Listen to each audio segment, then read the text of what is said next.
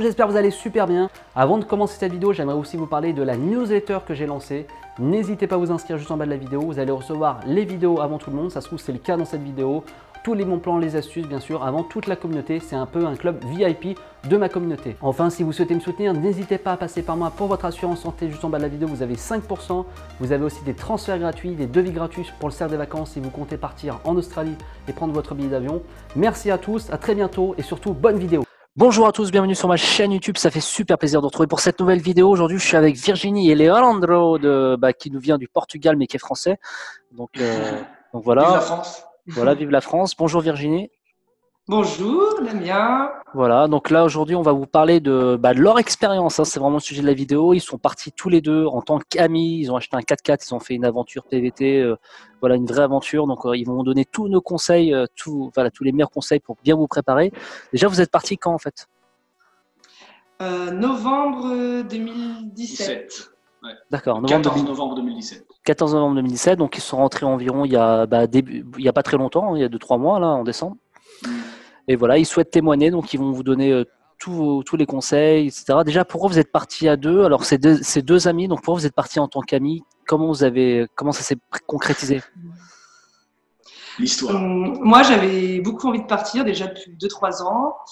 Et euh, bah, à chaque fois, on repousse. Et au bout d'un moment, j'ai trouvé le courage. Et puis, euh, trois mois, trois, quatre mois avant mon départ, Leandro euh, ne savait pas trop quoi faire, s'il reprenait les études. Enfin, il n'avait aucune obligation en France. Donc, il s'est joint à moi. Il m'a demandé s'il pouvait partir avec moi. Et du coup, ça m'a permis euh, d'être un peu plus euh, courageux, je pense. Ouais. D'accord. Ça a été, pour moi, ça a été le hasard. Elle me l'a proposé. J'ai dit, ouais, allez, pourquoi pas. D'accord, donc Leandro est parti plutôt sur un coup de tête et Virginie, toi, tu avais plutôt préparé avant de partir. Ouais, c'est ça. C'est toujours, c'est euh, toujours les, toujours les hommes qui, toujours les hommes qui partent à l'arrache, les femmes qui préparent les avant. Hein. c'est ça. Mais attention, préparer avec euh, le carnet de voyage, là où on devait aller, euh, mois ah par mois, limite, semaine par semaine. Ah oui, c'est incroyable. Une tour opérateur. D'accord, ah, c'est bien ça. Et donc, ah alors Virginie, tu as choisi laquelle ville d'arrivée, pourquoi, voilà, comment tu t'es organisé Alors, j'ai choisi Adélaïde pour, mhm. euh, pour arriver. Parce que justement, je m'étais renseignée au niveau des blogs, euh, sur, euh, sur YouTube. J'avais fait une réunion avec toi au Café Ose, justement, mhm. sur mhm. Paris. Ouais. Et, euh, et personne ne me parlait beaucoup de cette ville. Toi, tu en avais parlé justement qu'il fallait peut-être la privilégier parce que justement, elle n'était pas engorgée encore de backpackers.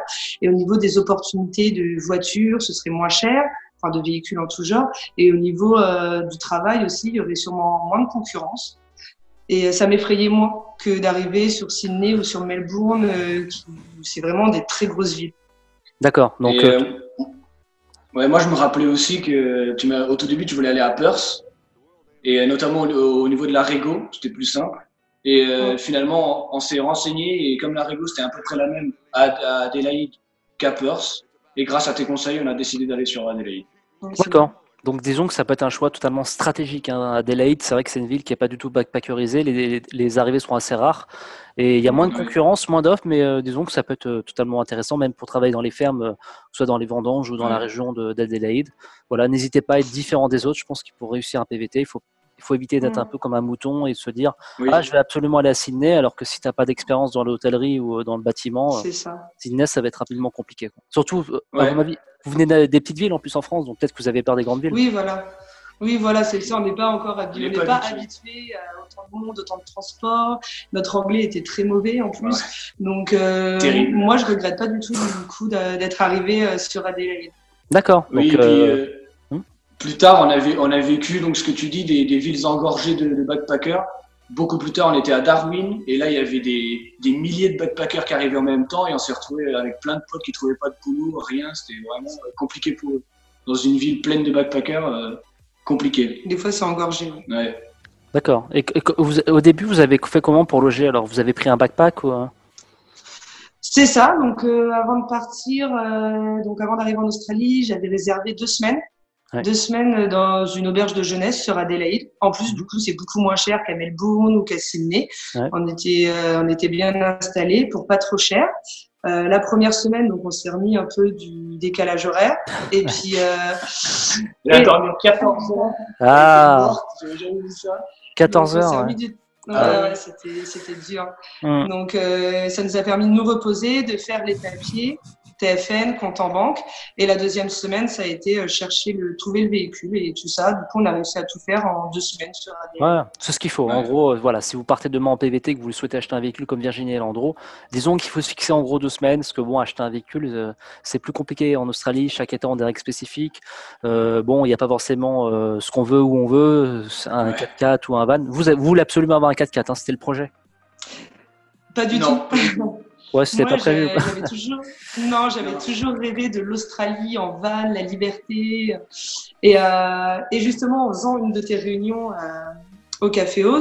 tu expliquais que voilà, si on voulait faire le nord et surtout le western, qu'il fallait privilégier un 4x4, sinon on allait être frustré de ne pas pouvoir faire certains national parks. Mmh des choses comme ça. C'est vrai. Et euh, bon, j'étais ah quand même partie sur le sur le fait non, je veux quand même un van. Et euh, quand on est arrivé en Australie, en parlant, bah, en rencontrant dans les auberges des personnes qui eux avaient terminé leur euh, leur road trip et nous ont fortement conseillé de de, de prendre de prendre un van. Mais un 4x4. Mais, mais, mais, mais, on a quand même visité des vannes parce que tendu, tu voulais absolument regarder comment c'était les vannes. Et elle s'est rendue compte que finalement, c'était des vannes très utilitaires, très petits. Elle s'attendait plus à un combi, alors qu'en fait, c'est c'est plus petit. Les, les vannes sont quand même très compactes et voilà, il fallait quand même passer un an l'un sur l'autre. Donc, euh, et puis voilà, on ouais. pas se sentir ouais. frustré, on ouais, faut, vraiment être libre. Fallait le supporter, le Leandro, pendant un an. c'est ça, c'est ça. Et vice versa. Et vice versa, et vice versa, surtout. Hein. il faut pas être frustré. Voilà, moi, ça m'aurait vraiment euh, attristé de pas pouvoir faire, euh, de pas voir euh, certains paysages, de pas faire certains ouais. parce que justement, ouais. j'avais pas les véhicules adéquats. Ah oui, vraiment, il faut. Enfin, moi, je pense que si vous partez en, en PVT en Australie aujourd'hui, le van, il faut l'oublier. Bah, ça en Australie, ça sert à rien parce que on a eu des amis avec des, des vannes et ils pouvaient rien faire, même une petite route un petit peu ensablée. Et en Australie, il y en a partout plein de national parks et même du côté est, Cairns, tout ça, toute la côte est, il y a des endroits où il faut des, des 4x4. Mmh. Disons Par que, à notre expérience. Voilà, disons que, enfin moi en tout cas ce que je pense c'est que la côte, sur la côte est, tu peux totalement t'en sortir en van, sauf à Fraser Island, éventuellement comme tu l'as dit au nord de Cairns. Ouais.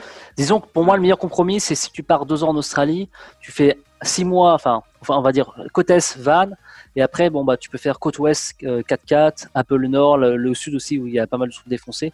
Disons qu'en bas, tu t'en sors, mais tu resteras limité sur certains trucs. Tu seras, tu resteras, ouais. voilà. Tu t'es.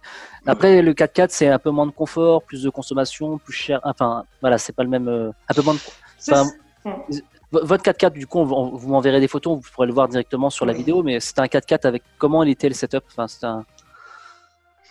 Alors, au tout début, on l'a acheté, il n'y avait rien du tout. C'était la voiture du pêcheur australien classique, quoi. Ouais, il n'y avait rien. Hein. Et non, rien, rien du tout. On a décidé de, de faire, de faire des, des, des tiroirs à l'arrière en bois. Ouais. Et on a décidé de mettre une tente au-dessus, donc la, la rooftop tent ouais. au-dessus. Mmh. Et, euh, et puis voilà. C'était ça le setup. Ouais, voilà, on a mis le, le, roof, le roof racks, en, ensuite la rooftop tent. J'ai donc aménagé l'arrière avec deux petits tiroirs et par-dessus, ça, ça, nous faisait comme une petite table. On voulait mettre une deuxième batterie, finalement, on l'a pas fait. On voulait un frigo, finalement, on l'a pas fait. Et on s'est rendu compte que euh, on faisait des économies même sans, sans un frigo. Euh, on, on, était bien, notre setup, il, il était bien pour un an en Australie. Le plus important, c'est de sentir bien euh, dans le. Ouais. Chacun son chacun son projet. S'il y a des gens qui veulent absolument l'électricité ou le frigo, c'est voilà, c'est ça, c'est vous qui. En tout cas, euh, je pense que Virginie partait dans un projet à la base de van, et je pense qu'il faut ce qu'il faut comprendre dans cette vidéo, c'est que les projets changent très rapidement en Australie. Donc, des fois, des fois ouais. on, peut, on, peut, pas, on peut penser qu'on va absolument partir dans un état d'esprit. Ouais, j'arrive à Adelaide, je vais faire ça, ça, ça. Non, c'est des fois malheureusement ça se passe pas toujours comme prévu et on me dansait l'aventure. Et finalement, tu te retrouves dans un 4x4 et on s'adapte aussi. On s'adapte hein, rapidement. Ah oui, oui, puis on, on regrette pas. En fait, on apprend, euh, on apprend tous les mm. jours avec les rencontres, avec euh, la vie, euh, avec la vie sur place, et on se rend compte que bah, tous les projets qu'on se faisait, qu'on idéalisait en France, bah, des fois, euh, on peut pas les, on peut pas les réaliser ou pas, pas, pas par le, pas ce même chemin. Ouais. Il faut, euh, il faut prendre des chemins détournés, et puis finalement, ça nous apprend et, et on regrette pas. Moi, je regrette Ouais, pas de pas avoir eu d'électricité, pas avoir eu de frigo. Non, bon. Je regrette pas d'avoir eu de 4x4 d'ailleurs non plus. C'est Ouais. moins de. Non, d'avoir eu de 4x4. Ah oui. C'est moins de confort, mais, mais c'est c'est autre chose. C'est vraiment très, très bien. Voilà. Exactement. Ah, faut, que, faut être ouvert à, à ce que les plans euh, puissent changer. Quoi. C'est plus l'aventure. hein. Par exemple, avec un, un 4x4 par- en ville, par contre, c'est très compliqué. Très, très compliqué. Parce que pour se garer, euh, nous, on dépasse les 2 mètres 40 avec la C'est ça. C'est ça aussi l'inconvénient. C'est impossible, quoi. Ouais. C'est l'inconvénient. C'est l'inconvénient d'un 4x4. Disons que c'est vrai que pour dormir en ville, moi en van pendant mes deux ans, enfin 20 mois de van, j'ai jamais eu de soucis en ville parce que tu passes un peu comme utilitaire, comme tu disais au début. Ouais, de la vidéo. exact. 4x4, disons qu'en ville, tu vas être un peu emmerdé, c'est la réalité. Ah, C'est tout le ça. temps. tout le Et temps. puis la pluie, quoi. Quand il pleut, ben, t'as pas d'endroit pour te Ah oui, quand il pleut, euh, quand on, nous, normalement, on se réveille le matin pour le petit-déj, on sort de la tente, on ouvre la table, on la met à l'extérieur et on mange. C'est normal. Ouais, Sauf ouais. que nous, je pense qu'on a eu un très mauvais été, on a eu beaucoup de pluie et euh, enfin pas mal de pluie comparé à ce que je m'attendais. Et on était obligé de rentrer dans la voiture pour manger parce que C'est moins de confort. Ouais, moins Comme de tu confort. disais, c'est moins de confort. Hmm. Si, le, confort vous dérange pas, euh, euh, ou en tout cas sur une courte période, côte ouest, euh, voilà, au nord, sud, même le sud, hein, il y a pas mal de parcs nationaux. J'ai vu qu'il y avait du 4x4, il fallait un 4x4. Euh, voilà, 4x4. Après, euh, on s'en sort en van. Disons qu'on restera un peu sur notre fin, euh, comme dans Ouais. certains tronçons, que ce soit Kakadou, Cal- Calbari, Carigini. Voilà, il faut quand même, malheureusement, il faut finir, comme on dit, même pour rouler sur la plage. Hein, des fois, on peut pas rouler sur la plage en van, forcément. Et ça, c'est un, un kiff particulier. hein. Pour les nous, Français, rouler sur la plage, c'est un petit kiff quand même. Voilà, ça c'est sûr que ça doit être agréable. Enfin, voilà. Euh, très bien. Vous l'avez acheté combien votre 4x4 Tu te Alors, rappelles? Ah Bah, ouais, je m'en rappelle. On a Et, euh, on a un petit cahier, là, on a tout marqué. Voilà, c'est très bien. euh, on a eu beaucoup, beaucoup de chance. On l'a payé seulement 2600 dollars. C'est pas vrai. Avec le moteur ou sans le moteur? Avec Ah, le avec- moteur, Ah, avec, avec le le moteur. régulateur de vitesse, avec les, les, les roues, les quatre roues motrices euh, automatiques. C'est excellent, quoi. Excellent. C'est Super état. C'était un Mitsubishi Pajero de 95. D'accord. Un- si ça intéresse. Voilà, donc c'est un 4x4 assez. Ouais, c'est un modèle. Enfin, je connais rien mécanique, mais je crois que c'est un classique. euh, Ouais. C'est un classique. euh, les... Ils sont très résistants et les pièces euh, sont faciles à trouver et du coup sont pas chères aussi. Ça, c'est un- ça, c'est important de le signaler. J'ai eu une gros, un gros problème mécanique avec mon van en 2017. Et vu que la pièce était compliquée à trouver, j'étais très, très, j'étais très en galère. Donc, ça, c'est important d'acheter un véhicule qui est, euh, qui est très présent sur le territoire pour avoir un, si vous avez un problème mécanique. Après, en, en Australie, ça va être Toyota, Mitsubishi et Nissan. Ouais. Sauf que, enfin, il y a, il y a- Toyota, c'est très cher. Nissan, les, euh, les nouveaux, les récents, euh, ils sont pas très euh, résistants. On a vu beaucoup de Nissan sur le bord de la route, notamment même les Patrol. Et, euh, et les Mitsubishi plus récents, à partir de 2000, pareil, ils sont assez fragiles. Donc moi, je vous conseille vraiment de prendre de- des, des Mitsubishi entre 95 et maximum 2000. Je pense que c'est les plus costauds par rapport à tout ce que j'ai vu. Ou sinon des Toyota, mais les Toyota, c'est horriblement cher. D'accord. Et donc, donc la marque de votre véhicule, c'était un. Pajero Mitsubishi. D'accord, Géo- Donc. Mitsubishi Pajero D'accord. de 95 et il avait pas beaucoup de Ah, et en plus, il avait 175 000 km. Oui, ce qui est pas. Pour l'Australie, c'est rien. Ah c'est rien. Ce qui est rien. Et, euh, bah, euh, donc, et vous l'avez acheté comment? Vous l'avez acheté un local, un backpacker? Un, un local Ouais. euh, Ah, sur Adélaïde. Ça, c'est important de le signaler parce que c'est vrai que je pense que c'est la meilleure stratégie si vous êtes un peu manuel comme, euh, comme, vous, voilà, comme vous avez pu faire, de partir sur d'un existant, d'un local et de le vaut mieux, vaut mieux acheter un local. Retenez ça dans cette vidéo. C'est ça. Bah, en fait, c'était vraiment sa voiture pour aller à la pêche. Donc, euh, elle avait très peu servi. Ah ouais, elle voulait était s'en débarrasser. Ouais. Et euh, pas, beaucoup, euh, pas beaucoup de kilomètres. Et voilà, il voulait s'en débarrasser. Donc, euh, voilà, on l'a vraiment pas. On l'a négocié un petit peu. On l'a vraiment pas eu cher. Et elle a réussi, elle a réussi à nous faire tout le tour de l'Australie. Mais je pense qu'on a eu beaucoup de chance. Beaucoup de chance. À 2600 dollars, on a eu beaucoup de chance quand même. Et, et, Sur et- Adélaïde. et- et la, l'immatriculation du véhicule, c'était quel état? C'était un quoi? South Australia. South Ah, Australia. D'accord, donc ce qui- ce qu'il faut retenir dans cette vidéo, c'est que si vous souhaitez acheter un véhicule et acheter un véhicule qui est immatriculé dans l'état où vous êtes, sera beaucoup plus simple pour faire le changement de propriétaire hors Western Australia. Donc South Australia, l'avantage c'est que vous êtes directement local. Euh, par contre, pour la revente, euh, à mon avis, vous avez dû revenir, vous avez euh, dû revenir un Mm. petit peu dans la région. Non, on, a, on, a, on l'a vendu du coup sur euh, Melbourne dans le Victoria. Ouais, mais celui qu'il a, qu'il a acheté, il, alors, il, devait, il devait ouais. faire Voilà, euh, une c'est ça, que je- de- c'est ça que je voulais dire. C'est que, c'est que Mm. demain, si tu as un, South Australia et que tu en Tasmanie, il faudra, faut quand même revenir en South Australia. Oui, voilà, c'est ça. Il faut quand même revenir dans le South Mais Australia. bon, pa- pour vous, à la Tu limite, as vous deux mois, je crois. Voilà, il y a un certain délai. Il faut bien regarder sur le site du gouvernement South Australia département. Là, j'ai pas le, le, le délai en tête, mais je crois que c'est, tu as au moins minimum 14 jours hein, pour, voilà, ça prenez bien ça avec des pincettes, mais c'est au moins minimum 14 jours. Et après, voilà, euh. Mais je crois Euh, qu'il y avait une démarche à faire euh, sur Internet qui pouvait marcher, mais nous on a essayé, on a cherché avant de le vendre et on n'a pas trouvé. Mais je pense qu'il y a une démarche qu'ils peuvent faire par Internet. Il faut bien se renseigner. Voilà, avec, de toute façon, Renseignez-vous. avec tous les régos, il faut, faut bien se renseigner. Voilà, chaque aller, euh, voilà. Chaque état a des règles spécifiques. Achetez un véhicule dans l'état où vous êtes et surtout pensez à la revente. Que si vous avez, par exemple, vous achetez South Mhm. Australia, que vous serez à Brisbane, ce sera invendable. Voilà, donc ça, faut penser à ça. Donc, euh, si vous avez Ouais. un South Australia, vous êtes à Boom, pareil, ce sera invendable. Donc, euh, si vous voulez pas vous prendre la tête, oui, c'est en Australia. Ça, j'en ai souvent parlé dans les vidéos. On va pas la refaire, mais en gros, faites bien attention. Vous avez fait un contrôle technique, non? Ou vous avez acheté comme ça Vous avez fait confiance? Non, on, a, on était un peu pressés. On était un peu pressés. Du coup, euh, on a fait confiance. On a Allez, on- peur, mais sans contrôle technique. euh, du coup. Ouais. Ouais, ouais. Après, c'était à l'autre. s'était dit, Ouais. Après, je le, je le conseille pas. Si vous avez un peu l'argent et si vous avez le temps, euh, faites, euh, voilà, ceci, ça, faites c'est le que contrôle technique. ça peut être cher quoi, avec, euh, avec les prix australiens. Ça peut être cher de faire un contrôle technique pour que les gars ils nous disent il n'y a pas de problème. Ou sinon qu'ils nous fassent encore plus peur et qu'ils nous disent bon, ça il faudra le changer à tant de kilomètres, ça à tant de kilomètres, et après nous on sait pas quoi faire, est-ce qu'on change, change pas. Tu sais, donc c'est. faut avoir l'argent quand même pour faire le contrôle technique. Disons que c'est conseillé. Il y a des États où ils exigent Ouais, ah oui. un contrôle technique lorsqu'il y a un changement prétaire comme Queen- Queensland Victoria. Mais disons Ouais. que dans le South Australia, je crois qu'il n'y a pas d'exigence. Donc du coup, moi je le conseille de le faire. Après, ça, si vous avez des connaissances, vous pouvez- voilà. Mais si vous connaissez absolument rien, dépenser 80 dollars, soit 60 euros euh, pour un véhicule qui en fait euh, plusieurs milliers de dollars, pour moi ça vaut vraiment le coup de le Ouais. faire. Après, c'est juste mon. Non, non. Nous, c'est parce que vraiment, on, est- on a fait un peu les trucs. euh, on était pressés, on n'avait plus beaucoup d'argent, donc on a fait confiance. Puis le, le- la personne à qui on l'a acheté, l'Australien à qui on l'a acheté, il était pressé aussi. Ouais. Donc, euh, Ouais, il nous semblait sérieux, il était mécanicien, et puis finalement, voilà, on n'a pas fait le contrôle, et Voilà. finalement, il n'y a rien eu, donc tant mieux. Mais je le conseille quand même.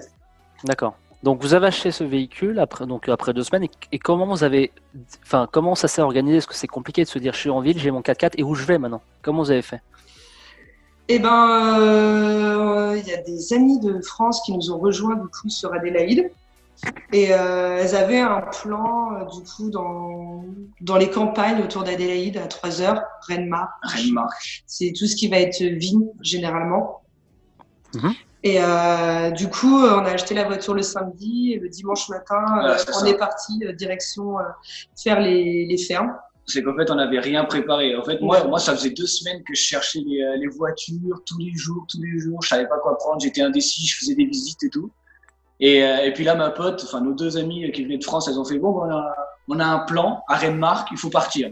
Ouais, mais on n'a pas de voiture. Du coup, on l'a acheté vite fait. On l'a acheté en vite teuf, mais on avait très très peur. Mais bon, comme, comme elle te l'a dit, le gars, il avait l'air sérieux, les canaux. Puis moi, je ne connais pas en voiture, mais je, sais pas, j'avais confiance.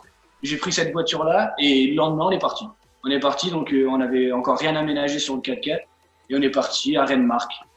Et finalement, euh, le plan qu'on avait ne s'est pas fait. Il y avait déjà Voilà. des gens qui nous étaient passés devant en quelques heures. Du coup, on s'est retrouvé le dimanche, pas de logement, plus vraiment d'argent, et on a été bah, sur les euh, sur les, les les sites de petites annonces australiennes. Mhm. Et on a trouvé euh, quelqu'un euh, dans les abricots qui nous logeait. Et on commençait le lendemain. Donc euh, voilà, il est venu nous chercher. On était au bord de la route. Il est venu nous chercher, il nous a installés euh, dans un camp de travailleurs. On a loué une caravane et puis on a commencé dès le lendemain du coup à, à travailler dans les abricots. Donc là c'était dans la ville de c'était où dans quelle ville à peu près?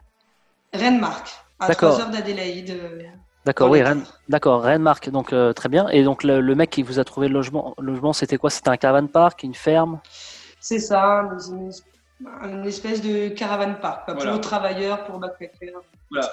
C'est un caravan park qui, qui s'était mis d'accord avec les fermiers aux D'accord. alentours et qui, euh, souvent, dès qu'on arrivait, ils disaient voilà, je vous ai trouvé un Ok. boulot. Par contre, si c'est pas pour moi, en gros, il faut partir. Quoi. Ouais, d'accord. En fait, c'est un, d'accord. Comme par exemple dans la ville de Soignil, c'est un caravan park, ils sont de mèche avec les fermiers, et en fait, ça fait vivre l'industrie locale, et en même temps, ils vous trouvent un boulot. D'accord. Donc c'est bon. voilà, ça. peut être intéressant. Non, c'était c'était pas quelque Oui, chose de c'était pas une arnaque, c'était vraiment Non, pas non. très cher et en plus à chaque fois, et voilà, il nous trouvait du boulot, ça nous arrangeait, il arrangeait tout le monde, c'était donnant donnant donc euh, ça arrangeait ouais, vraiment Ouais, ouais, c'était Donc, vraiment c'était super. C'est très bien. Et donc, vous avez, vous êtes resté combien de temps là-bas? Hum, deux mois Deux mois et demi Ouais, Ah ouais, deux- c'est- je dirais deux mois. à couper des abricots par 46 degrés. D'accord. Et Et, donc, euh, c'était quoi payé à l'heure? C'était au rendement? Ah non, Euh, le picking, le picking était payé à l'heure et euh, du coup le cutting, donc couper les abricots pour les faire sécher, euh, ça c'était payé au rendement. ouais. D'accord. Et on n'était pas au SMIC. hein.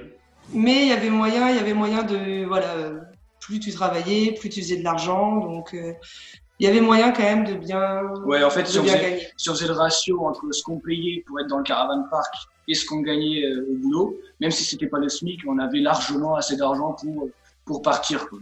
D'accord. Ouais. Partir ouais. pour faire le voyage. D'accord. On, Ouais. vous- pouvait, on, pouvait, euh, on pouvait bien économiser. En fait. Ah ouais, il y avait, c'était un bon plan. Donc ça, c'était à quelle période? En gros, en décembre. En décembre? Euh, ben, tout des, je crois qu'on a Ah, commencé le, novembre. pre- le 1er décembre. Ouais. Je crois qu'on a commencé vraiment le 1er décembre. D'accord. D'accord. Donc, donc voilà, si vous voyez cette vidéo, sachez qu'en décembre, il y a les, les abricots. Ça dure plusieurs mois apparemment. Euh, je connais pas tous les endroits. Il y, a, Euh, il y a abricots, amandes, raisins Citrus. Et après tout ce qui va être euh, agrumes. Agrumes, très bien. Donc voilà, Renmark, c'est un spot euh, très connu hein, de, de fruit picking. Ah ouais, ouais, ouais. Euh, donc vous êtes resté, donc vous êtes- vous- au départ, est-ce que ça a été compliqué de s'adapter aux fermes par rapport au climat, par rapport au, au rendement, tout ça? Ou ça va? Non, non, c'était même plutôt agréable de faire euh, des boulots sans, sans responsabilité par rapport à ce qu'on a en France. Ouais, ouais, il y a, ouais. avec, t'es avec plein d'autres backpackers aussi, donc euh, tu, généralement tu vis avec eux, tu vas travailler avec eux, donc euh, c'est plutôt une ambiance, c'est une ambiance sympa. Moi, c'est Oui, pas quelque chose que je regrette après. Ouais, ouais. C'est toujours dur de se lever le matin, mais, euh, Alors, comme c'est dans les terres, comme mais ça va. les- on travaillait 7 jours sur 7, Ouais. euh, pas de jour de repos. Il n'y avait pas vraiment de, de pause. C'est nous, on, on choisissait plus ou moins la pause. Et, euh, et c'était un boulot assez compliqué au tout début. On avait euh, des, des outils sommaires pour couper les abricots. On on devait les couper en deux et les faire sécher. Mais en fait, c'est, on va dire que c'est folklorique. Quoi. Et on s'attendait à ça. On savait qu'on allait faire du fruit picking et qu'on allait faire des, des boulots pas forcément, euh, euh, comment on peut dire, euh, incroyables. Oui, Ouais, oui. on savait qu'on allait faire des trucs Un peu ingrat. Un peu ingrat. Ouais, ouais, bah, ça, C'est Ouais. dans l'esprit, quoi. Donc, euh, Ça Mais, l'aventure. mais je pense que c'est à faire du coup. Ouais, et puis ouais. en plus, bah voilà, on sait qu'on économise de l'argent, que cet argent il va nous servir à voyager, donc Ouais. euh, on est content. quoi. ouais, faut- bien. En fait, faut pas vous mettre de pression par rapport au fruit picking. Je pense qu'il y a pas mal de gens, ouais, genre, oh non, je vais tout faire pour éviter. C'est pas la punition, franchement. euh, même en 2019, il y a, il y a- j'ai encore fait un témoignage là sur euh, sur Facebook. euh, Il y a, il y a vraiment moyen moyen de gagner de la thune. Et même si vous gagnez pas 500 dollars la journée, et même si vous gagnez rien que 100, 150 dollars, c'est déjà ça. hein, Faut pas se plaindre. quoi. Ah oui, oui. Ah bah nous, c'était ça. Voilà, donc c'est très bien. Enfin, il faut pas non plus s'attendre. à- Alors des fois, tu as des gens qui témoignent sur ma chaîne. Ouais, j'ai gagné tant d'argent par mois et tout. Bon, voilà, c'est des machines de guerre. Mais ça sert à rien de viser trop. Des fois, on est déçu. Toi, tu, tu gagnes en moyenne. Alors 15 nous, nous ouais, ouais, je pense que tu as 100% raison. Nous, on n'était pas du tout des machines de guerre, mais alors du Ouais. tout. Et on- en fait, on était juste sérieux, on était là à l'heure. Et là, ça, Ouais. les Australiens, ils aiment bien être sérieux, être là à l'heure et bosser. Sérieux, Voilà. bosser. hein. Hmm. Faut pas. À partir de là, ils, veulent pas que tu fasses des, des ratios énormes. Non. Ils veulent juste que tu bosses. Et à partir de ce De moment-là, c'est manière, voilà, de manière constante, bien, ça. euh, dans le respect. Et, Ouais. Et voilà, du coup, on a été polyvalent et on a été Ouais. gardé pour toute la saison. Donc, on a fait le picking, le cutting et après, on a fait le packing. Ouais. On a vraiment fait toute la chaîne euh, jusqu'au jusqu'à la fin de la saison. Voilà, sachant que le picking, par expérience, ça fait quasiment six mois d'expérience euh, en global en Australie, c'est comme un marathon. Vous voyez, c'est, il y a, on enchaîne tous les jours des gros marathons. Le- L'objectif, c'est de, de se maintenir en forme, de pas se tuer, de dire ok, aujourd'hui j'ai fait tant de vignes et après je vais me tuer euh, le lendemain en picking et après je vais être mort au bout de trois Mhm. jours. Soit il faut vraiment se préserver, donc faut pas non plus Voilà, ça. son corps à, à l'extrême. C'est Ouais. voilà, c'est vraiment une constance. Donc euh, non, en plus quand il fait trop chaud, euh, bon bah voilà, il nous, il nous permet, enfin, il nous, demandaient de rester chez nous. C'était vraiment des off quand il faisait vraiment trop chaud. Sauf quand il était en retard. Quand il est en retard sur la, sur la. Hormis Sur euh, cas commandes. exceptionnels, mais en plus, voilà, nous, je pense qu'on est tombé en- sur des bonnes fermes, dans des bonnes fermes, parce qu'à chaque fois, nos, nos employeurs étaient vraiment agréables, sympathiques. Il nous euh, offrait des bières. C'était, euh, c'était sympa. Il avait Ah. un petit frigo. euh, il nous offrait des bières et tout. Non, c'était cool. Franchement, c'était super. Bonne Ouais, expérience. ouais. Voilà, après, il faut être prêt à, à- à souffrir, je pense, de la chaleur à cette saison. Oui, Voilà, ouais, ouais, ouais, Oui, bah, oui. c'était ouais, du 47 degrés. Ouais. donc, euh, Nous, on a travaillé une fois, comme il était un peu en retard, il voulait à tout prix euh, cueillir les pêches. On a travaillé par 45 ou 46 degrés. Mais, mais bon, voilà, c'est le boulot, c'est comme ça, on l'accepte ou on l'accepte pas. On pouvait ne pas venir. Et il y a un truc qui est très important que vous avez oublié, je pense, c'est que est-ce qu'il y avait des mouches? Eh ben non, Non, bizarrement, tout le monde nous a parlé Ouais, des mouches. incroyable. Et de toute notre année en Australie, on n'a jamais souffert des mouches. ouais, jamais. Enfin, pas plus que ça, pas plus que ça. Ah, ça c'est bizarre ça. Mais tout le monde nous en a parlé et, et non, à chaque fois, on arrivait, je pense, un peu après la saison. où Il y avait des mouches, forcément.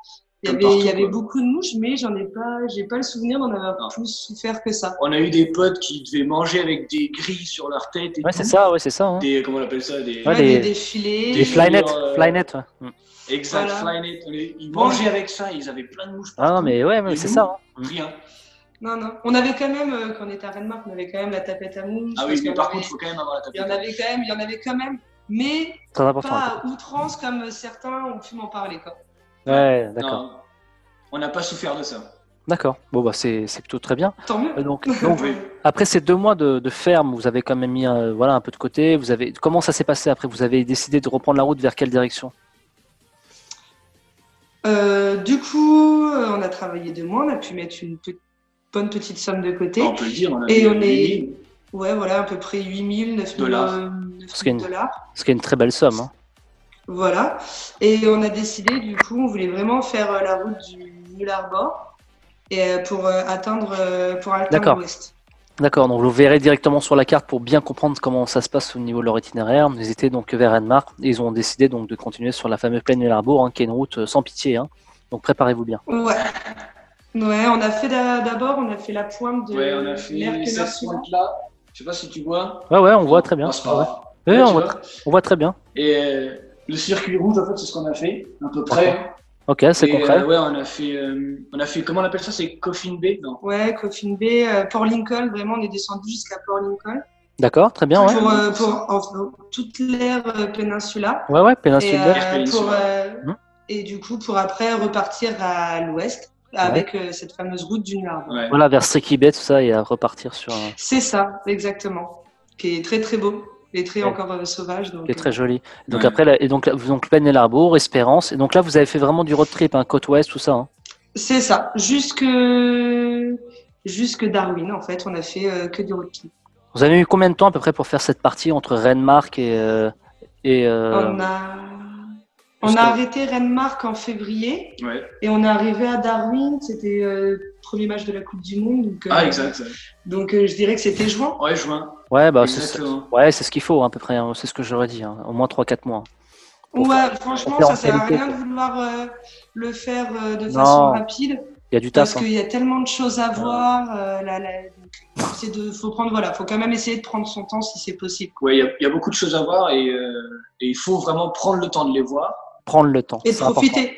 Voilà, Ouais. prendre le temps, c'est ce que j'avais du mal à faire au début, parce que Ouais. j'avais mon planning euh, chargé. Ouais, on, a envie, on a faire. envie de faire en quantité, en, quali- en quantité, sauf que la quantité, euh, Ouais. tu peux pas Et faire ça de la, qualité. euh.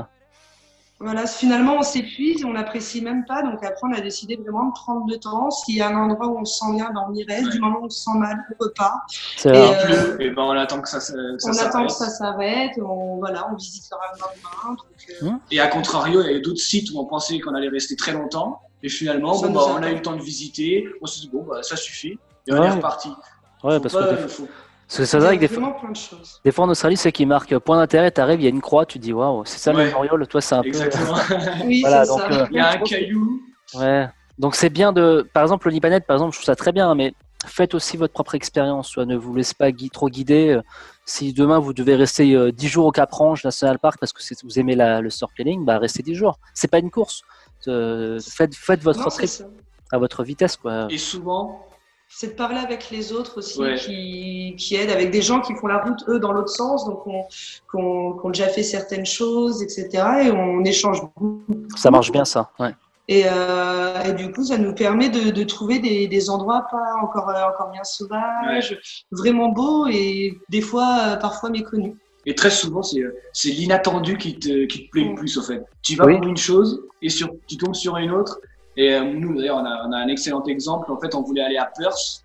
Euh, et, euh, et, moi, euh, j'étais en train de surfer sur Internet. Je sais pas comment. Je crois que c'était sur Wikicamp. Hein Wikicamp, d'ailleurs, très important. Ouais. C'est une application. C'est le plus important, presque. Hein ouais. Et j'étais en train de surfer sur Wikicamp et je suis tombé sur Rockingham, juste en dessous de Perth. Et il y avait écrit Seal Island. Hein et comme ça, par hasard, j'ai dit à Nini, viens, on y va. On aura peut-être la chance de voir des Seal Lions. Euh, des, des, lions de mer. Je crois que c'est des phoques en France, bref, il y a une espèce de. exactement, exactement. Et du coup, on y est allé par hasard, on a loué un, un, canoë et ah on a nagé avec les Sea Lions. Et ah ben voilà, on a nagé avec eux. De, de façon totalement euh, gratuite, totalement sauvage. Ça nous a coûté 60 dollars juste la journée de location. ah voilà, c'est ça, c'est la magie. Il faut, faut pas hésiter à, regarder, à, fouiller. Et après, des fois, même sans regarder des cartes, euh, bah, tu tombes totalement par hasard sur des petites routes, tu demandes à des pêcheurs, à des locaux, et tu peux tomber sur des spots extraordinaires. C'est comme tu dis, euh, Leandro, c'est l'imprévu aussi qui est magique. Oui, ouais, bah surtout l'imprévu, parce que des fois, quand on a quelque chose de prévu, on va aller voir, je sais pas, le Wave Rock par exemple. Nous, on n'y est pas allé. Oh, oh là là. Exactement. C'est beaucoup de routes pour finalement. Est-ce vraiment Ça sert à rien. Je, vous... bah, je vous le dis clairement, les mecs, sur cette vidéo, c'est bidon. Je vous le dis. Quoi. Oui, c'est un truc de fou parce que c'est la nature qui a fait ce rocher, mais autant de routes pour arriver à Eden pour ça, non. Je, je regrette vraiment de l'avoir fait. Je vous le conseille pas. Enfin, c'est mon espoir. Bah, c'est parce que en fait, voilà, les gens veulent la photo. Je suis allé ici, machin. Mais bon, voilà, non, pas hésiter à sortir des sentiers battus, à écouter bah, voilà, les gens, les voyageurs, les locaux, à faire des choses qui ne sont pas connues et un jour peut-être deviendront connues. Ouais. Exactement. Donc, euh, et vous avez beaucoup aimé la côte ouest? Ah ben. C'est le meilleur endroit d'Australie.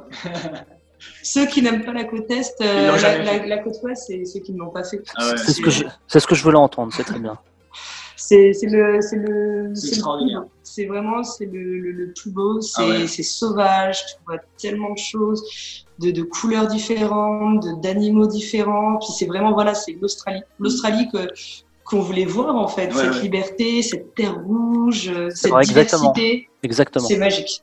Parce qu'on peut tout avoir, par exemple. On peut avoir les villes avec Perth, on peut avoir le, le sauvage avec les parcs nationaux, euh, on peut avoir les toutes petites villes perdues au milieu de nulle part que personne ne connaît, comme Tom Price. La petite barrière de Alors n'allez pas à la grande, hein, ça sert à rien. La petite, c'est la meilleure. C'est vrai, c'est vrai. C'est incroyable. C'est vrai, c'est vrai que la côte ouest, c'est un mélange de terre rouge et de plages plutôt paradisiaques. Donc euh, on, se sent vraiment en Australie sur la côte ouest. Ouais. C'est ah vrai que je pense que tu as tout résumé. Euh, et après, vous êtes arrivé vers Darwin, ça? C'est ça. Après, du coup, on est arrivé à Darwin en faisant la, fameuse Gibbs River Road. Non. Ah oui, si, si, si. D'accord, en fait, voilà, donc pour vous, je vous mettrai la carte euh, en même temps que je vous mets la vidéo. En fait, quand, si vous avez un 4x4, hein, vous avez la possibilité de faire cette route euh, qu'a dit Virginie. Euh, disons qu'il faut un 4x4 hein, pour faire cette route, pour aller éventuellement Vous avez fait les Kimberley du coup? Et non, parce que, alors, pourquoi Les Kimberley, tu les as pas fait? Je rappelle Alors, c'est là où tu as pété un câble. Non, c'est ici. Alors, on a fait la Gibbs River, donc euh, on a failli euh, perdre le 4x4. Euh, on a crevé tous les jours. On a crevé tous les jours parce qu'on n'avait pas de, de, bons pneus. Ouais, ça peut arriver. Hein. tous les jours. voilà, il faut faire des franchissements de. Franchissements de rivière et tout, c'était incroyable il y avait de la poussière partout. Et du coup, en fait, au milieu de la Gibbs River Road, on a coupé vers le bas, on est allé jusqu'à Wolf Creek, on est revenu, et ensuite on a continué direction Darwin pour faire les Kimberley, justement. Et, euh, et là, on prend la Gravel Road. Déjà, quand on venait de se taper euh, 1000 et quelques kilomètres de Gravel Road. C'est l'enfer. On rentre dans la. Ah ouais, et là, on rentre dans la Gravel Road de Kimberley. Et elle, c'est elle qui voulait le faire. Et elle me fait Non, là, je peux plus j'en peux plus, il faut que je prenne une douche, ça va pas du tout. Euh, il y avait de la poussière partout. C'était ah. dur parce qu'on a du coup on crevait tous les jours, on manquait d'eau. C'est dur, mentalement c'est dur. Hein. Voilà, c'est qu'au bout d'un moment tu, tu te rassures. Ouais, il y a un moment donné, tu pètes, tu, pètes un câble, ça peut se comprendre. Bah, moi, c'est la, seule fois d'Australie, donc on manque de nourriture, on commence à manquer d'eau potable, on prend pas la douche pendant 5 jours, 4, 5 jours, et on a de la poussière partout, et puis euh, bah voilà, on se dit euh, l'essence, le, le 4x4 consomme beaucoup d'essence, Oui, et, euh, et on se dit on va jamais arriver, on va laisser notre 4x4 sur le bord de la route, C'est a stressant. énormément de 4x4 au bord de la route. c'est Et extrêmement voilà, stressant. notre 4x4, c'est notre maison, c'est notre moyen de travailler, c'est notre moyen de voyager. Donc si on ne l'a plus, on est, mort. foutu. quoi. On est foutu. Ah, en plus, c'était une période où on n'avait plus beaucoup d'argent. Donc Ouais. voilà, ça a été, euh, c'était très beau. Ouais, pris un peu, pris un peu de panique, euh, ouais, au moins un moment où en fait, euh, ouais, tu, tu- tu voyais un peu toi David défiler, où ça avait aussi Ouais. ce stress et aussi il faut avoir la tête sur les épaules. Je pense que euh, je pense que c'est bien de partir à l'aventure, mais à un moment donné, il faut aussi relativiser. C'est pas grave si vous n'allez pas au Ouais. bout de la, des Kimberley ou au bout de, de la de, de la télégraphe, par exemple Rhodes sur la au nord de Cairns, qui est extrêmement ex- enfin, qui est extrême.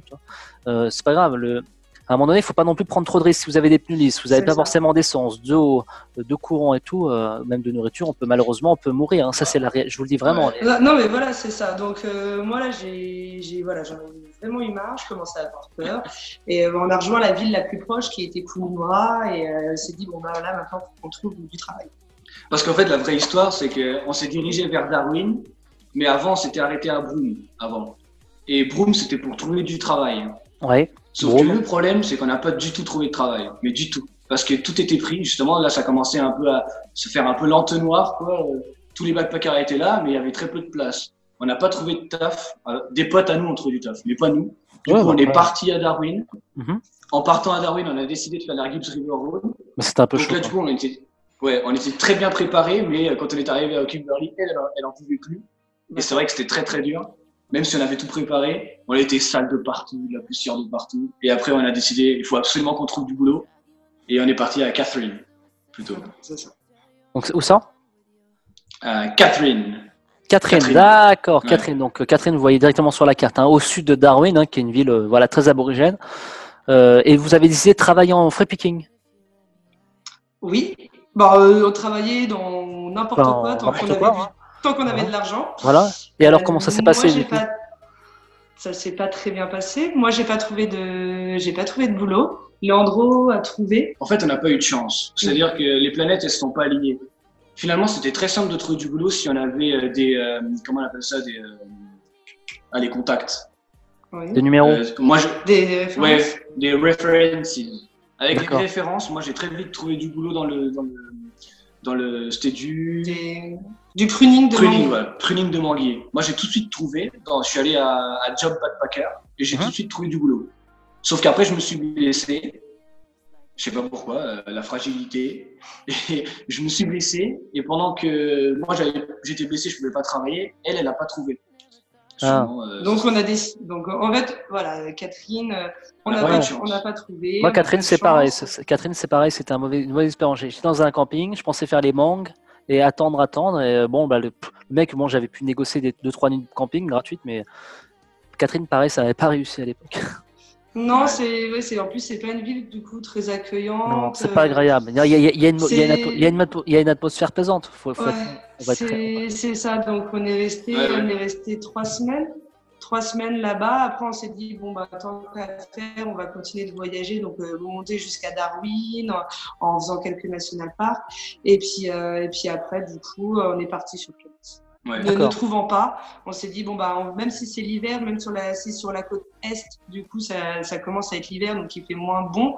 On s'est dit bah il y aura moins du coup de concurrence pour le travail donc on, on part sur la côte est. Ouais, Du on coup, ça- monté à Du coup, ça faisait comme un bout, de, un bout de chemin parce que vous étiez à Perth dans l'objectif de, l'objectif de travailler à Broome. Finalement, vous êtes arrivé à Catherine, ça marche pas. Jusqu'à Cairns, Ouais. voilà, ça commence à faire Mhm. énormément de route, hein, du coup, là. Ça a été difficile. Bah, de Perth à Broome, ça allait, c'est vraiment arrivé à Broome. On s'est dit bon faut peut-être commencer à y penser. À Catherine, ça devenait vraiment euh, urgent. Ouais. Sauf que nous, bon, on a plutôt un mental, euh, on n'est pas. euh, Enfin, on voit tout positivement parce qu'on est en Australie, il fait beau, c'est l'aventure. Voilà. On peut pas tout avoir. On a déjà eu beaucoup d'imprévus. Avant d'arriver à Catherine, on avait déjà beaucoup d'imprévus. Et on s'est dit, bon, on trouve pas du boulot là, c'est pas grave. On va visiter Darwin. C'est super beau. Euh, Même la route pour y aller, il y a plein de parcs naturels à visiter. C'est excellent. Il y a beaucoup de backpa- backpackers qui veulent pas y aller. Mais c'est vraiment excellent. Il faut le faire. Euh, ouais, une de mes meilleures villes. Ouais. Et, euh, et donc, ayant fait Darwin, on redescend à Catherine pour es- essayer de retrouver du boulot. On n'y arrive pas. Et là, on décide d'aller en LPX à Cairns. D'accord. Et euh, Au moins, on était logés, on était sur place. Ça nous faisait aussi, euh, on travaillait dans un hôtel, du coup, à Cairns. Ouais. Et on s'est dit, voilà, ça nous fera une expérience en plus et une référence aussi en plus. Et ça nous laisse le temps, voilà, de trouver De chercher. travail. Donc là, vous, a- donc vous avez décidé, donc à Cairns, vous avez travaillé dans un hôtel, c'est ça?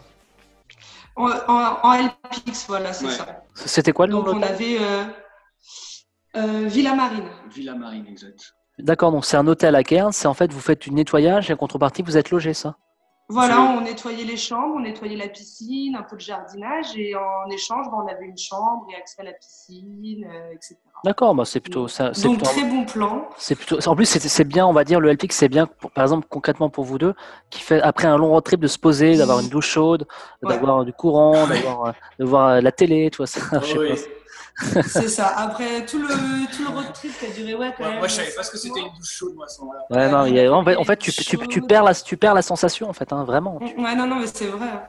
Mais Et- tu t'habitues, en vrai. Tu t'habitues. La douche chaude après. Tu t'habitues. hein. Après plusieurs mois. luxe. Ouais, après, ouais, tu, tu- c'est du luxe, c'est ça. T'as t'as l'impression que tu, tu vois du courant. Ah, il y a du courant, mais c'est un truc de fou, là. Ouais, Ouais, c'est ça. Donc, bah, tu- du coup, c'était un mal pour un bien parce que ça nous a permis de nous poser, de travailler aussi un peu l'anglais, de nous faire des, des, des, des références en plus, des, des compétences en plus. oui, oui. Euh, très bon, euh, très bon plan parce qu'il adore, euh, il adore Il les adore les surtout les, les, les Français. On, est, on traduisait pour lui des choses, etc., pour que les touristes viennent chez lui. Donc, euh, il était très content, très accueillant. Et de là, on a trouvé du travail à- en dessous de Brisbane. Ah ouais, ouais, là c'était compliqué hein, parce qu'on a beaucoup cherché, on a beaucoup cherché de boulot et là par contre on n'a pas du tout trouvé. Rien, nada. Et, euh, et on savait plus quoi faire, on avait plus que 1000 1000 dollars. On avait plus que 1000 dollars sur, euh, sur le compte et euh, ça fait pas beaucoup si on a envie de continuer à descendre et tout.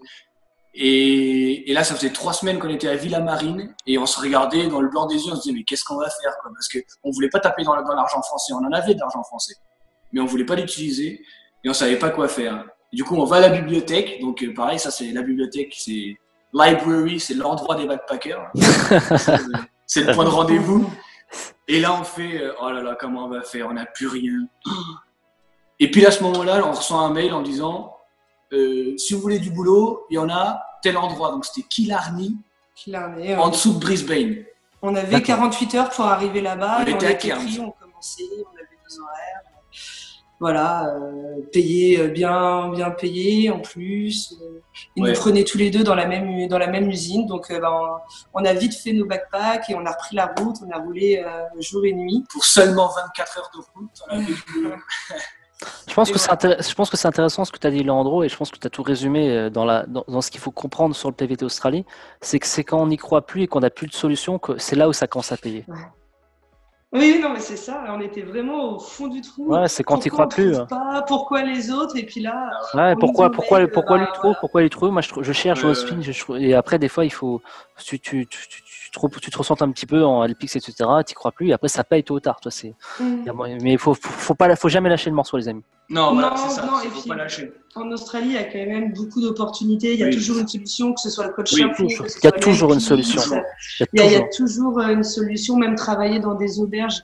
Tu travailles dans les auberges et te, du coup, ils te donnent une chambre. Ouais, ouais. Et ouais, ça c'est vrai qu'en Australie, en Australie, il y a toujours une solution. Parce que bon, là, on est allé à Cairns parce que nous, on voulait surtout pas redescendre euh, dans le, on va dire, dans l'hiver australien en fait. On était Ouais. dans le nord, on voulait pas redescendre dans le sud. Mais Ouais, si vraiment on était dans le mal, on aurait pu redescendre complètement même dans le South australien et trouver du boulot à Port Augusta par exemple. Pour Augusta, même retourner à Renmark. Sauf que nous, on voulait pas. Bon, finalement, on s'est quand même retrouvé dans le nord, dans le, dans le sud, pardon, et dans l'hiver australien, parce qu'on était vers Brisbane. Mais bon, c'est pas grave. Voilà, là, on ne pouvait pas faire autrement. On est arrivé à l'endroit, donc on avait 48 heures pour y aller, dont 24 heures de route. Non, 24 heures de route et 48 heures pour, pour prendre le C'est compliqué, hein, c'est extrême. hein. Ouais, ouais, ouais. Et on est arrivé, on savait même pas s'ils allaient complètement nous accepter. Et on avait plus que 40 dollars sur le compte avec les pleins et tout ça. On, Ah, a, on a roulé euh, sans dormir. Ah, C'était incroyable. Incroyable. J'ai jamais vécu ça de ma vie. Mais du, super. et- Mais et du coup, mais, du, mais du coup, en arrivant, vous avez repensé un peu à Renard en disant est-ce que, est-ce que cette fois-ci, ils vont pas me la mettre à l'envers, du coup? Ouais, voilà, c'est ça. On entend les, les expériences des autres, des fois qui sont pas, pas cool. Oui. Et on s'est dit, euh, là, s'ils nous la mettent à l'envers et qu'ils nous prennent pas et qu'on a fait toute cette route pour rien, Ouais. enfin, on, est, on serait trop déçus. Et puis finalement, on est arrivé et puis on a commencé à travailler tout de suite et, et ça a duré un mois. Donc là, c'est- de l'argent de côté. C'était quoi cette mission, enfin, le boulot? C'était une usine de pommes de terre. Packaging de pommes de terre. D'accord. donc- Packing. C'est du, du- donc du packing, très bien. Et packing à- Mm. euh, dans, dans la ville de Kill, Killarney, ça? Killarney. Alors, c'est perdu dans la pampa Vers, euh, australienne. vers Warwick, c'était à 3 heures de Brisbane. 3 D'accord. heures dans À les terres de Brisbane. à l'intérieur D'accord. de Brisbane. Dans Donc la là-. Donc là, c'était un packing de, donc de pommes de terre payées à l'heure, hein, forcément. C'est du packing. Ouais, c'est ça. Payer au Ouais. rendement, c'est un peu compliqué. Et donc là, pendant, donc là, là, l'argent est revenu un petit peu là. C'est, Voilà, oui. là, on, Non, juste, ça- euh, on, a, on a travaillé juste un mois. ouais, Là, ça fait du coup, bien. On était, on était Ouais. au mois de juillet, août. On a fait Donc ça de juillet à août. Mm. Voilà, donc l'hiver. Et nous, on était dans les montagnes. C'était, on avait moins faisait- 4 voilà. degrés. hein. Ah, beau, d'accord. mais il faisait froid. C'était pas, à mon avis, ça devait être, enfin, ça devait être plutôt vers Stras- Strasbourg, tout ça, non? Un petit peu par là, non? Ou, euh. Ça vous Euh, oui, oui, oui, il me- semble. De toute façon, on t'enverra la carte. Ouais, ouais, de toute façon, non, mais je, je ferai a des recherches. Je mettrai la carte en même temps, mais il y aura- je Mais pense voilà, que c'est plutôt par là où il y a pas mal de montagnes. C'est il- vraiment, il y a pas mal de montagnes, c'est très très beau. Ouais. il fait froid. Hein. Mm. Voilà, c'est très rural et du coup, il faisait quand même hyper froid. Mais bon, bah, de toute façon, on était là pour travailler, on travaillait beaucoup. Et pareil, là, on découvre toute une autre partie de l'Australie. En fait, Euh, l'Australie est très grande et très différente. Très différente. Et on est à Cairns, on descend à Killarney, on voit une, une Australie complètement différente. On était d'ailleurs dans la capitale du rodéo. C'était Warwick Ah, d'accord, d'Australie. d'accord, d'accord. Euh, Donc c'est- c'était intéressant. Là, on était pour le coup limite les seuls euh, Ah ouais. étrangers. Je crois que dans toute la ville, on était trois, ba- quatre backpackers. Ouais, c'est ça. Ouais, c'est sûr, c'est pas, un- c'est pas un spot. euh, toi, j'en ai jamais entendu parler, toi. Non, un- c'est pas un spot de, de on bossait qu'avec des Australiens d'ailleurs. euh, Mais ils prennent quand même. D'ailleurs, je pense Mais- que ceux qui sont actuellement en Australie ou ceux qui, qui vont y aller, si vous passez à Brisbane et vous cherchez du boulot, essayez Wickham Farms. ouais, rentrer dans les terres. Ils ont Ouais. plein, ils ont plein de boulot, que ce soit du du, du coupage, Ouais, euh, du cutting, du cutting, de- cutting, de, euh, légumes. trier juste les fruits et légumes, Ouais, même du du, picking de pommes de terre, d'oignons, Ouais. de pumpkin, tout ça. Donc il y a quand même du taf, faut pas hésiter à rentrer dans les terres. quoi. De toute façon, en Australie, il faut pas hésiter à rouler, tout simplement. Il faut acheter un véhicule. Non, voilà, Il faut acheter un véhicule, vous passez à Il- l'action, et il après, il faut faut, pas hésiter à voilà, rouler, pas bêtement, il faut s'enseigner un petit peu, mais Oui, oui. il faut, voilà, il faut, Mais il faut, il faut y aller, quoi. Ouais, il faut aller sur place. faut vraiment être libre et être autonome et euh, pas perdre pas perdre d'argent finalement inutilement à stagner des fois dans un endroit. Ouais, attendre bêtement bah quand voilà, dit, euh, c'est bon, euh, ouais. c'est bon, il y a du travail, c'est bon, et des fois, euh, bah, c'est bon, ça tourne, ça tourne. Faut pas hésiter à se dire, oui, ah, puis ça- finalement, c'est ça. Donc, faut pas hésiter des à. fois, on travaille. Pardon. Pardon, On se coupe, on se coupe. Non, mais des fois, on travaille, on, nous- on nous donne des contrats, puis finalement, sur une semaine, on va travailler que 12 heures. Donc finalement, Ouais. ça nous paye à peine notre auberge ou notre camping. Donc euh, c'est vraiment dommage, c'est pas des bonnes opportunités. Non, c'est vrai. C'est vrai, C'est vrai que des fois, il y a, en Australie, trouver un, un- un travail, pour moi, c'est facile, entre guillemets. Après, trouver un travail qui, qui paye un minimum correctement, c'est plus compliqué. Voilà. Mais voilà, Oui. il y a, trouver Bah. un boulot, ça peut se faire très rapidement, hein, mais il y a des boulots de Oui, merde. hein. Voilà. Mais après, comme tu as dit tout à l'heure, il faut pas lâcher le morceau. quoi. C'est pas parce que Faut pas, faut pas lâcher le euh, morceau. on trouve pas au tout. du- Ouais, ouais. C'est- Des fois, des fois, on stagne un peu. Ah mais non, mais il y a, tu sais, euh, je- je- tu vois, il y avait, y avait TF1 qui avait fait un- une fausse vidéo là sur un- sur TF1 en disant ouais là il traverse la rue, il trouve un boulot. Moi j'ai contre-attaqué en disant non non, c'est pas comme ça. À moins d'avoir un profil bien spécifique, il faut vraiment Oui. s'arracher quoi. Trouver du travail facilement en Australie Ouais, est-ce que tu penses qu'on peut vraiment trouver comme ça ou, un- ou un- je, je pense que ça a été il y a quelques années vraiment un Eldorado et qu'il y avait toquer aux fermes et on était pris. Maintenant, euh, ça ne se passe plus comme ça. Il y a de la Non. concurrence. Il y a beaucoup de euh, concurrence. il y a beaucoup de, co- il y a beaucoup de concurrence. Ouais. Euh, il y a beaucoup aussi d'arnaques au niveau des, de certains fermiers euh, australiens. Beaucoup. d'arnaques Et euh, voilà. Et, mais par contre, c'est possible encore d'avoir des très très bons plans. Oui, C'est oui. possible, voilà, de. C'est plus facile qu'en France pour trouver du travail. En plus, voilà, les, les salaires étant beaucoup plus élevés et n'ayant pas spécialement des fois besoin de prendre un loyer, de payer de l'électricité, de l'eau, etc. Voilà, il y a moyen de beaucoup économiser. Voilà, par contre, après, c'est comme tout, on n'a rien sans rien et il faut, faut savoir s'arracher, il faut savoir, euh, voilà, travailler, être, être sérieux. Voilà, il faut Quand se- on est dans un boulot, l'employeur australien, il aime le sérieux. Voilà, en fait, l'avantage en Australie, c'est qu'on vous laisse votre chance, entre guillemets, si vous avez, si vous avez un minimum les critères pour répondre au boulot. Après, à vous de faire vos preuves, et comme a dit Leandro, soyez bah, un peu rigoureux, ne vous plaignez pas s'il fait 45 Oui. degrés, euh, voilà, c'est comme ça, hein, sinon, faut pas aller en Australie. hein, c'est il aller- normal. voilà, voilà. Exact. Euh, donc, euh, donc, très bien. Donc, après, après cette expérience de packing de pommes de terre, qu'est-ce qui s'est passé du coup? Vous êtes redescendu vers Sydney? Non, bah du coup, vu qu'on n'avait pas eu le temps de faire euh, la côte est, du coup, Ouais, de bah oui, Cairns à forcément, c'était du sabotage. hein, ouais. et ben on est remonté du coup à Cairns, on a refait la route dans le sens inverse. D'accord. Oui, on est un peu. On Ouais. avait le temps. on avait le temps. Non, mais en même temps, Euh, ça a un sens, euh, voilà. Voilà, enfin, moi j'avais vraiment envie vraiment de, Ouais, de faire les choses bien. tour de l'Australie, voilà. Donc je me suis dit c'est vraiment dommage de louper cette côte là. Oui. Mm. Puis euh, elle avait l'air d'être belle en plus. Le, Ouais, la côte est, le nord-est là. la- Le nord-est, c'est est très joli. le nord-est, c'est très Ouais, joli. Mm. En fait, nous, au tout début, on était partis euh, dans le western parce qu'on disait on n'est pas urbain, on n'aime pas les villes et euh, on va quand même voir à quoi ça ressemble. Et finalement, c'est excellent aussi, c'est très Ouais, bien. j'ai- j'ai Nous, on préfère le west, le western. Ouais, ouais. Disons qu'au niveau des, la c'est vrai que le niveau des plages, l'ouest. Après, la côte est regorge aussi de trésors comme les Whitsunday, la Oui. Grande Barrière, Ah, ouais. Voilà. Voilà, c'est ça. Ah ouais, c'est excellent. ça. En fait, euh, ouais, du coup, euh, de Cairns, euh, bah, après, en fait, on a fait pratiquement que du, que du road trip. Et euh, moi, j'ai beaucoup aimé de Cairns à Brisbane. C'était vraiment euh, magnifique. Vraiment très, très beau, même un peu en dessous de Brisbane. les Et plages de voilà, on, on a fait un peu tout. On a fait Fraser. Fraser, il faut le faire absolument. On Ah a ouais fait les White faire, Sunday. On a fait, euh, on a fait la Grande Barrière de Corail. Early Beach, etc. Donc, On a- C'était vraiment très beau. On a vu les baleines. Oui, voilà, c'était la saison des baleines en plus. Ouais, Ouais, donc c'est super. Donc après, vous, donc vous êtes redescendu. Et après, euh, bah, Byron Bay, tout ça, non? Voilà, Byron Bay, Noza, euh, hyper cool. Mais du coup, là, on était en quoi? On était en, Surfers Paradise, on était en septembre, il me euh, semble. Fin septembre, début devait faire octobre. beau. Bah, c'était mitigé. C'était un, peu, encore. ouais, c'était un peu limité, ouais, d'accord. C'était Ouais. voilà, c'était un peu au petit bonheur la chance, donc on pouvait avoir très beau, euh, comme des fois on pouvait, euh, Beaucoup de vent. on pouvait avoir un peu de pluie, un peu De de vent, un peu plus froid.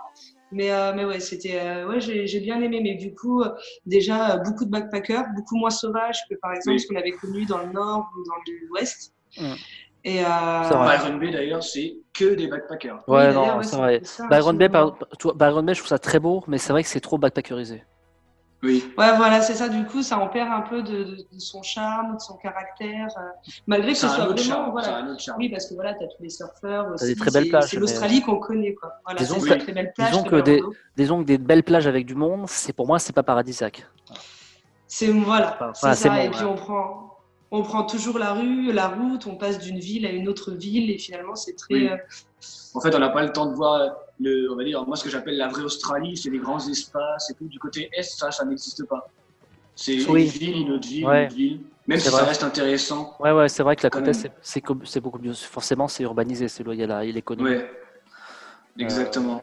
Très bien. Donc après, et après, vous, finalement, vous avez fini la boucle jusqu'à Adelaide, quoi. Vous avez fait des, des road trips. hein. euh, on a Exactement. été jusque la, la Great Ocean Road, La- à ouais. Polo Bay, exactement. Ouais, Et de ouais. là, il nous restait un petit peu de temps, en fait, avant que notre visa il se termine. Donc, euh, on a travaillé dans l'hôtellerie. On a trouvé, on a travaillé trois semaines. En cleaning. On, voilà, on faisait le ménage euh, dans les hôtels, Ouais. dans un hôtel. D'accord. Ça nous a permis de mettre de l'argent pendant trois semaines et puis on est retourné à Melbourne euh, pour, euh, pour vendre notre voiture. Et finalement, elle s'est vendue euh, plus vite que prévu parce que première visite, euh, la personne l'a Oui. achetée. Donc c'est pour ça qu'on est parti un peu plus tôt finalement euh, d'Australie. Ouais, en fait, quand on a trouvé du boulot à Apollo Bay, on venait de terminer notre visite à Sydney, euh, Melbourne. On avait fait aussi les Blue Mountains. On s'était un peu perdu dans les Blue Mountains et tout ça. On a, donc on a fini, on a fini, on va dire, les, les visites. Et à partir de ce moment-là, quand on a fini le tourisme, on avait fini notre boucle et on a décidé de faire de l'argent bonus un peu. on a trouvé euh, très vite finalement du travail en, en cleaning. Donc, On a travaillé, chance. on a fait de l'argent. Ah bah là, euh, oui, euh, première annonce, euh, puis on a été pris Ah oui. direct. Et puis il y avait plein, euh, honnêtement, la Great Ocean Road, si vous arrivez un tout petit peu avant que la saison commence, il y a vraiment beaucoup, beaucoup de travail. hein. Ouais. Malgré que à chaque fois que ce soit que des petites villes, mais il y a vraiment Ah ouais, beaucoup hein. de c'est vrai qu'il y travail. a plein de petites Il villes. C'est vrai qu'il y a moyen de trouver des petits dans les petits restos et tout. Bah, il y a tellement d'hôtels, de restaurants. c'est que, touristique. C'est vrai que c'est une super astuce. C'est très Il touristique. faut venir juste. Juste avant que la saison elle commence. Nous, on y était de, je sais plus, octobre. Octobre. On, y, est- ouais, on y était en octobre et euh, franchement, il y avait euh, tout- ouais. tous, les, tous les restaurants, tous les hôtels recherchaient. tout cherche. Ouais, octobre, c'est un bon timing avant, avant l'été. ouais. Mm. Et même un petit ça. peu avant, parce que souvent il y a, il y a des backpackers qui savent, ou des, des Australiens qui savent qu'ils vont avoir du boulot, on va dire saisonnier. Donc eux, ils y vont pas en octobre, ils y vont euh, Ouais, vraiment euh, pendant l'hiver. un petit ça, peu avant, ouais. le mois avant, ils y vont. Et là, ils sont sûrs de trouver des places. Ouais. D'accord, ok. Bah, bah, c'est bon à savoir. Donc, euh, et le véhicule, vous l'avez revendu très facilement.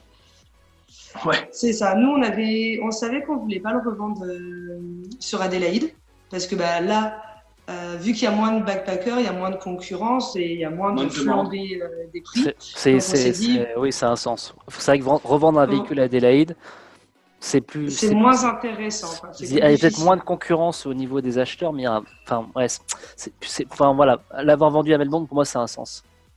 Voilà, en fait, à Melbourne, euh, du coup, on était en, on était en octobre, mi-octobre, donc euh, il y avait tous les, pack- euh, les backpackers qui commençaient à arriver avant la, la- la saison d'été, justement. Ouais, il y a beaucoup de demandes, beaucoup, beaucoup. Donc euh, tout le monde arrivait, tout le monde était à la recherche d'un véhicule. Et, euh, et voilà, du coup, on l'a vendu, euh, on l'a vendu sur Melbourne à la première personne. On a eu beaucoup, beaucoup de demandes et première visite, euh, bah, du coup, il est parti. Et en tout et pour tout, avec tout, euh, tout le set, donc tout ce qu'on a acheté, la roof, les roof racks, la rooftop, euh, tent et tout ça, on a perdu 30 dollars sur l'achat sur l'achat du véhicule. Ce, qui- est énorme, encore. ce, qui est, ce qui est un désastre.